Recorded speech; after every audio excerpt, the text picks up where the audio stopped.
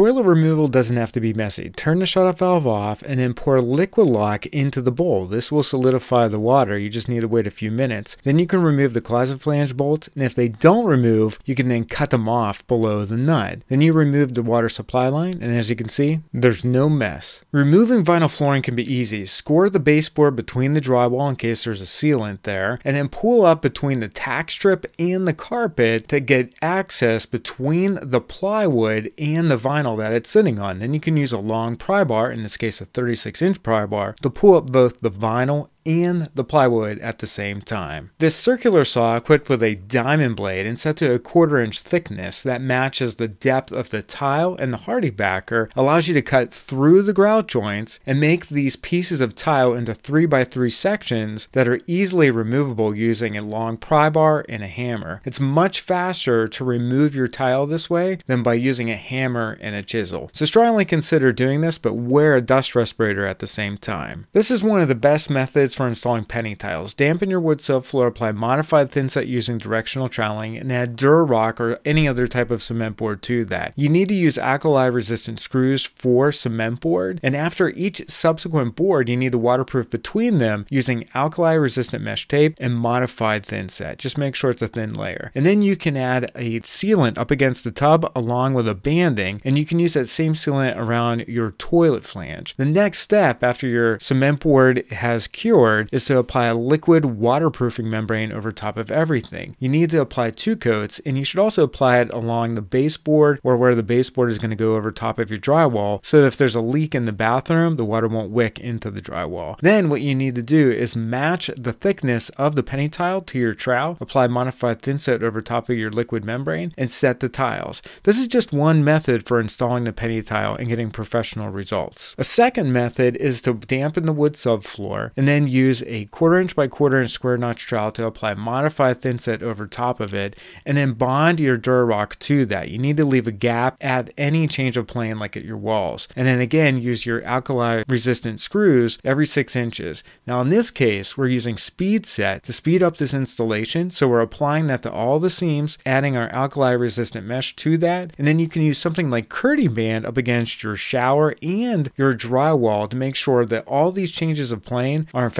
waterproof. And by using SpeedSet, you're able to do this in one single day. That'll allow you to waterproof as well with something like Hydro Ban, and you can waterproof over top of the cement board, the curb, and over top of any of the seams. The only gist is you need to use a wet film gauge and make sure that you have the proper thickness of the Hydro Ban after each subsequent coat. So if you want professional results, make sure you follow those tips. Setting tiles up against a bathtub can be tough, especially if the tub bows out. So you can scribe the tiles with a pencil and cut that scribe mark to get the tiles nice and flush with the bathtub. And what this will allow you to do is to get nice even grout joints as well as you move away from the bathtub area. So hopefully that tip helps you out. By the way, if you are liking these clever bathroom renovation tips, please give this video a thumbs up. That way other people will be able to find it and hopefully it'll help them with their project. Recessed ceiling lights can be easy to install. You just want to make sure you don't do it right over the framing. You can cut a hole out in your ceiling. You can use a hole saw, you can use a manual keyhole saw or a Dremel to do that and just pull your wires out. And what we like about this system is they're just push to connect. So you push in your hot and your neutrals into this light and then you just plug your light into the socket and that's pretty much it. That's how you install one of these Parmita recessed lights and they're definitely very simple to install.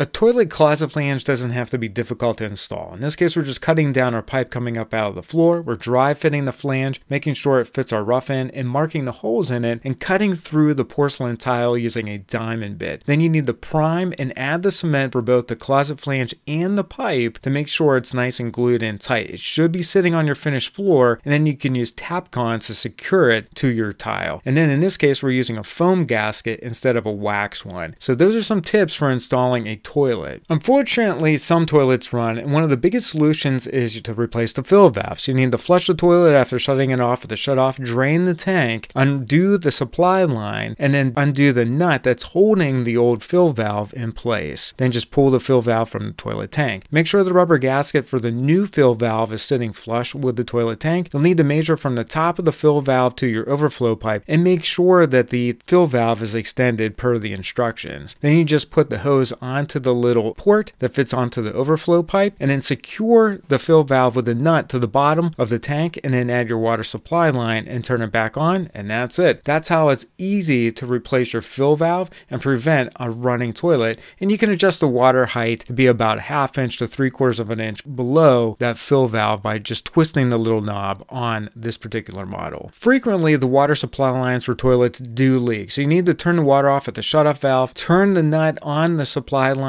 clockwise, drain it, and then counterclockwise for the nut on the shutoff valve. This is a new steel braided water supply line. It's a click seal by Fluidmaster. It fits 3 8 inch fittings and 7 8 inch fittings. And what's nice about it is you tighten it down over top of your shutoff and then you just hand tighten this until you hear the click and you're done. And then you turn the water back on and that's how easy it is to replace your supply line. This will take all the mystery out of vanity installation. You need to make sure your vanity is level, and then you can dab the hot and cold water supplies with paint. Push your vanity up against that paint, and it'll mark the location of the supplies perfectly on the back. Pilot drill through that from the back, and then use a core bit that has a pilot bit in it to drill through the front. This will prevent any splintering and give you a nice professional look. Then you can dry fit the vanity, make sure it fits, and then mark the pipe coming out of the wall for the P-trap and do the exact same thing thing. This will give you a nice hole on the back that you can then match up with your hole saw. Again, we're going to pilot hole through the back and then use the pilot bit with our two and a quarter inch hole saw through the front so that we don't splinter the vanity. Then you can put your vanity in place, make sure it's level again, and then you want to find your studs in the wall with a good stud finder. This is the Franklin stud finder. It's never let us down and you can use two of the long screws that come with the vanity to secure it to the wall. The next step was to apply a thick bead of 100% silicone on the top perimeter of the base cabinet, then install the sink and clean off any of the excess silicone. And we used the laser level to make sure that our glass mosaics would remain level around that vanity top. We mixed up Ardex X77. This is a thin set that we use for mosaics. It's great when mixed to the right consistency. We cut down our Schluter Quadec and used a 3 16 square notch trowel to apply the thin set to the wall, added the Quadec, made sure it was bonded to the thin set, and used this really awesome diamond blade to cut through our glass mosaic and give us a square cut up against the Quadec. We then compress that using our grout float and put a spacer between the bottom of the mosaics and the vanity top for expansion and contraction. You always want to clean the top and the wall